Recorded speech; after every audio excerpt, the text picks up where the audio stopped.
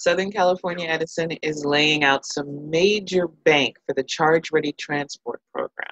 We're talking $356 million in investment, trying to put in at least 870 commercial charging stations over the next five years, where they hopefully will be charging over 8,000 public transport vehicles. This is an attempt to revamp pretty much every single fleet that's used in local government uh, possible. So things like buses and trucks and all of that. This is a great idea designed to fuel, you know, this is a, a major step forward to take pollution causing large transport vehicles off the road, get them out of the way, and replace them with good electric vehicles. And it's definitely something I think we can all be happy about.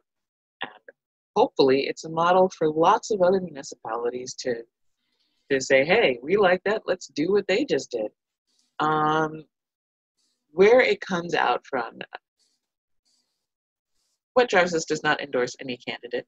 by the way, we're not doing that. Oh. Um, this is supposedly tied into the Biden's the Biden Sanders Unity Task Force climate change plan, which, uh, me go check my stats, is designed to get us to net zero emissions by 2030, carbon free power production by 2035, and accelerated adoption of zero emission vehicles. Also, kind of a super good idea if we'd like to live reasonably well on this planet for the next hundred years but some of us don't, and I respect your choice. So that's what's happening. I'm pretty good. I'm pretty happy about that. I have to say, though, the one thing that I think we're going to have to go forward with on public transportation vehicles from here on in how do we deal with coronavirus and COVID 19 as we progress as a society? Because something tells me it's not going to go away just because it's summer and then we won't deal with it again.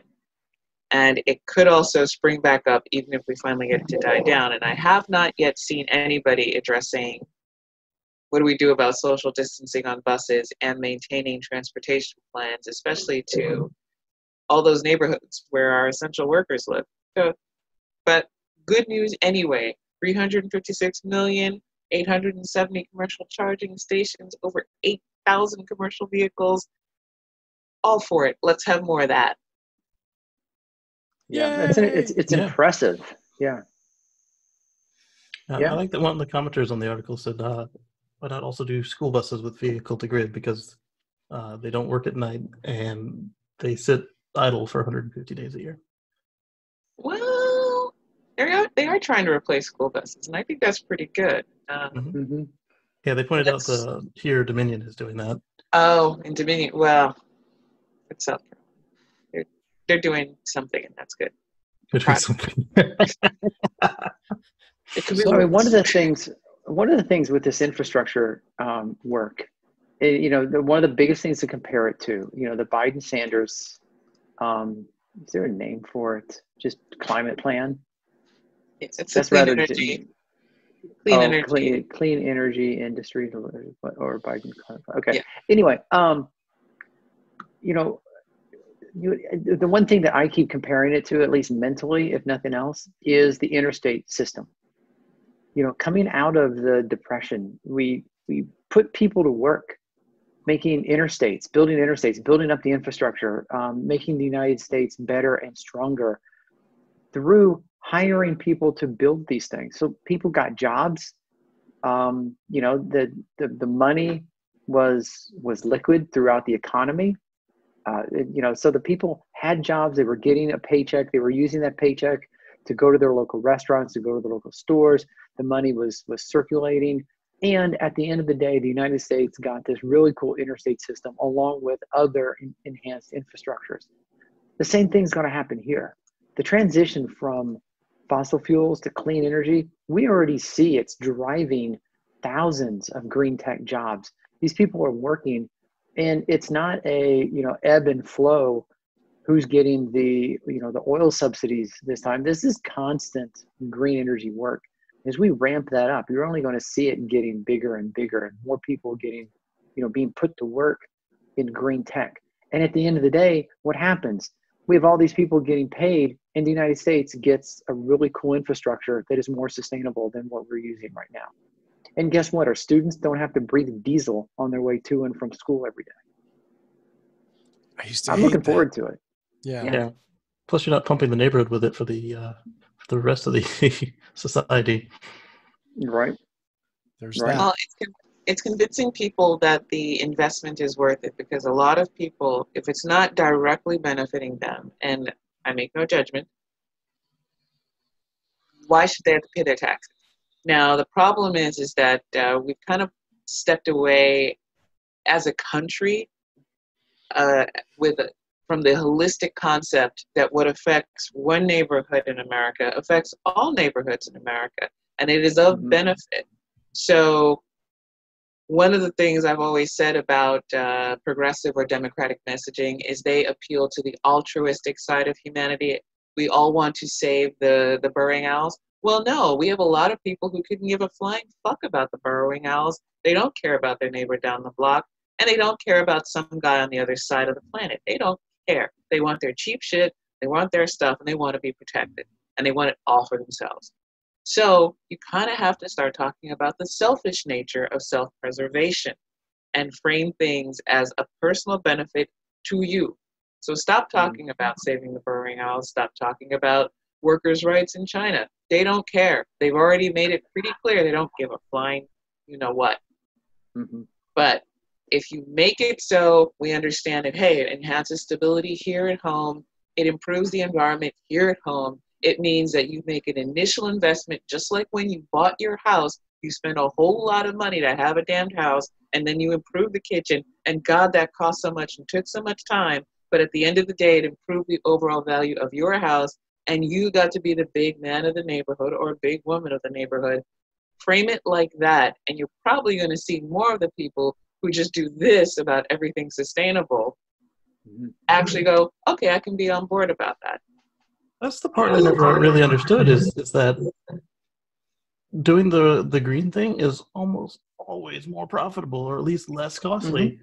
And that's the thing, we need to frame it like we're all dicks. That's the problem. yeah. Keep framing it yeah. like we're all angels. No, we got at least a good 30 to 50% dicks in this environment. Please talk to them like they're major assholes and make it appealing for assholes. Right. And, you know, that's, you're exactly right, Georgia. I mean, I agree with you 100%. And this is why the mini car shows and Green Drive Expo and to go before and, you know, all the times I've had the opportunity to talk to the public, I, I get a check for that, right, Russell? Yeah. Okay. Um, so I've always come at the Checks green the tech argument from multiple facets, and depending on who I'm going, who I'm talking to, it's either the save the rainforest argument or it's the energy independence argument. So I'm either talking to people about save the environment, the environment's great, save, you know, love Mother Nature, or I'm talking to someone who only cares about themselves, and I'm talking about importing oil from com- from countries who hate us. I'm talking about sending American troops to go die to protect a pipeline on another part of the world. I'm talking about you know being more American and, and, and supporting the United States by capturing the sun that falls in the United States by spinning wheels with the wind that comes across the American plains. You start waving the American flag and talking they about energy nuts. independence. And yeah, they go nuts, man. They put their MAGA hat on and they're all for it. Yeah, look, Plus, if you want to frame it as pride in American workmanship and solar and ingenuity, it gets me to the same point as, oh, we want to save the planet. I don't yeah. care, but just yeah, let's get yeah. the sustainability. Yeah, plus, when you go self-sustainable, you you can either spend that money somewhere else or reduce the taxes. Mm-hmm. It's mm-hmm. um as someone who used to talk to people every day, it, usually a couple hundred people every day about solar and try to sell them on solar and batteries. One learns to size up their prospect quickly and find out which side they're on. And, and Georgia and Tony's points are here are super well made because you don't want to give the tree hugging, fuzzy, warm, save the planet speech to the MAGA hat. The MAGA hat wants to hear about energy independence and screwing the utility and rugged individualism and survivalism. You're, you're doing the same thing. You're selling the same exact product. You're just presenting it in a way that will appeal to the person in front of you. And that is what's missing a lot. Yeah. You go to you go to Southern Appalachias and say, hey, you know what? If we use renewable energy, we don't have to rip the tops off of those mountains. You don't have to set your your tap water on fire. We could bring you clean energy. Grandpappy worked in those mines. Okay. all right. All right. That's my heritage. Uh, it's it's tough. It's you know what? How to how to market it isn't always easy isn't always obvious but a lot of times it is. We just screw it up because we're lazy and well we think we like to think reasoning um, on the left especially. We think reasoning. Everybody's got this reasoning and empathetic character we just got to touch their hearts. Bitch they don't got no hearts. Just talk, yeah I, it, look, I am, I am a, I am the softest freaking touch in the world. I see an animal, yes, I want. Here's my dollar. Here's my dime. Here's everything I got. Go on ahead, take me.